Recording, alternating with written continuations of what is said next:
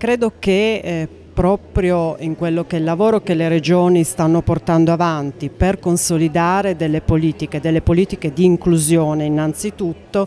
i fondi, i fondi europei, i fondi di coesione siano fondamentali per avviare delle progettualità che poi le regioni hanno il compito di trasformare in politiche, in politiche durature. Noi in questi anni eh, stiamo cercando di far sì che i diversi fondi, fondi strutturali, il Fondo Sociale Europeo, i fondi legati all'immigrazione e quindi in quest'ultimo periodo il Fondo Asilo, Migrazione e Integrazione siano fra loro collegati e quindi si investa su progetti che vedano in insieme le risorse europee che quindi sono utilizzate bene e debbono a questo punto essere delle risorse che ci permettono di individuare eh, delle politiche a breve ma soprattutto a medio-lungo termine.